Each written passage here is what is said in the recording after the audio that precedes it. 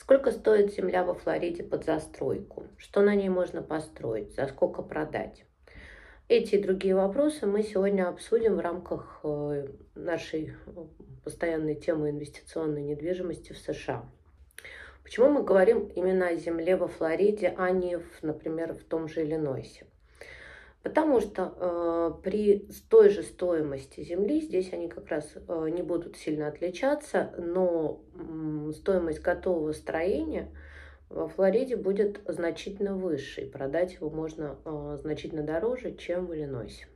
Поэтому мы сфокусировались на регионе, где есть э, относительно недорогая недвижимость.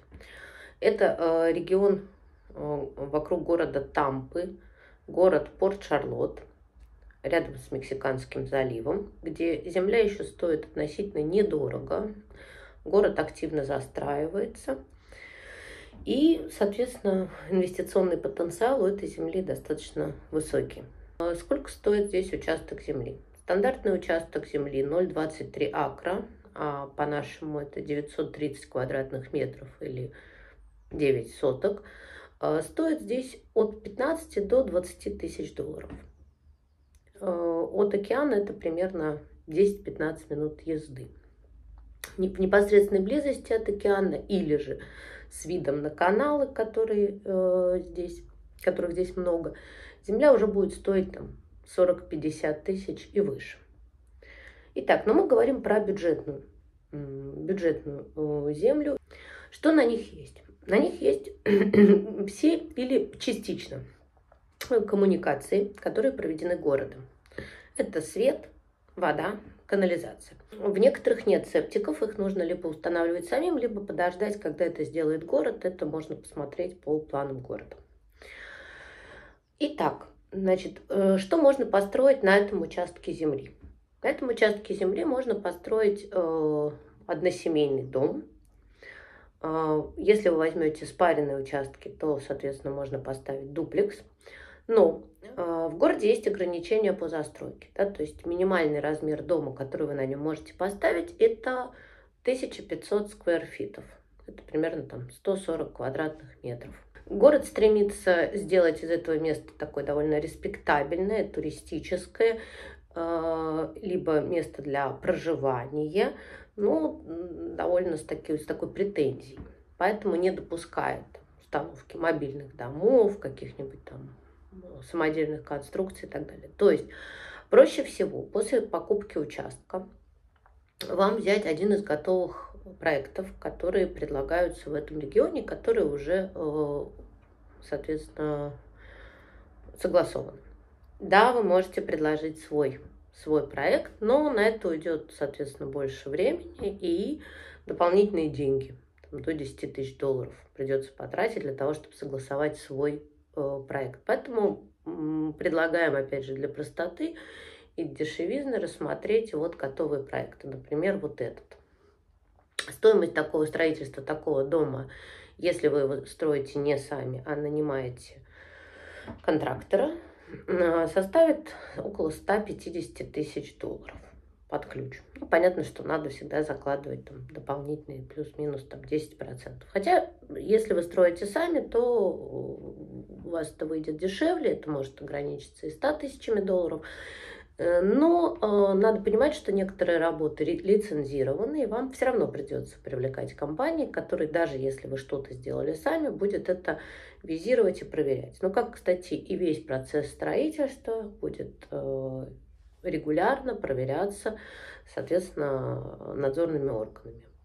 Не могу сказать, то есть эта проверка не является какой-то там сверхсложной, но она может затянуть, скажем так, этот процесс и проходить не так вот э, ровно в те сроки, которые вы там изначально оговаривали.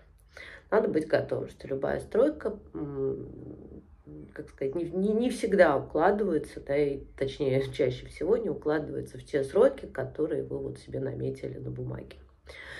Итак, сколько будет стоить такой дом, во-первых, как он будет выглядеть? Ну, вот он будет выглядеть примерно так, хотя это и другой проект. Но, тем не менее, показываю. Э, вот так вот выглядит готовый дом после э, его постройки. И, соответственно, э, он может сдаваться как в аренду на короткий или долгий срок. Еще одним плюсом этого региона является отсутствие каких-либо ограничений по сдаче в аренду. И это, в общем, хорошо. Стоимость аренды на долгий срок здесь составляет там 2 300, 2 500 долларов в месяц. Э, краткосрочная аренда, считайте, около там, 4 тысяч долларов в месяц. Э, вот. Либо э, просто быть быть проданным. Для этого мы сейчас посмотрим, за сколько продаются дома в этом регионе, за сколько были проданы дома в этом регионе, таких же вот типовых, типовых проектов. Вообще средняя цена в регионе это 300 тысяч долларов такого дома. Также э, вы можете купить спаренный участок, смежный, например, смежные два участка, и поставить там дуплекс. Стоимость строительства дуплекса э, составит э, около 250 тысяч долларов, но его продажная цена, соответственно, уже будет от 400 тысяч долларов – а сдаваться он может по отдельности по такой же цене, как, соответственно, и односемейный один дом. То есть около двух с половиной тысяч за одну часть. Еще одной формой э, продажи земли это может быть рассрочка.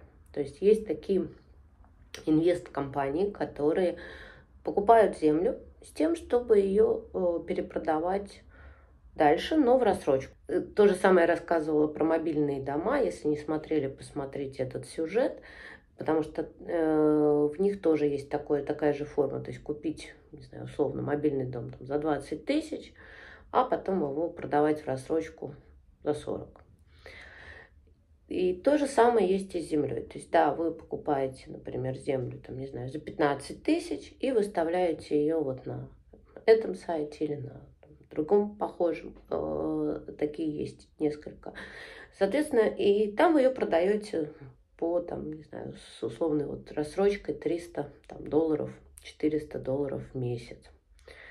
Но зарабатываете на разнице в цене.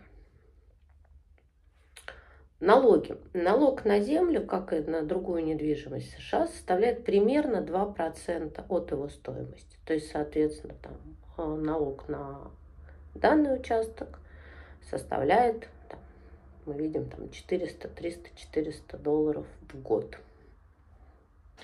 Ну, еще один самый простой вариант инвестирования в землю э, – это холдинг, то есть, по сути, э, покупка земли и просто ее удержание до того момента, пока она подражает естественным путем. А статистику, соответственно, по э, там, последним двум годам вы также можете посмотреть по Zillow, да, посмотреть, насколько она дорожает ежегодно в разделе «Проданное», «Sold», и выбрать там э, «Lots».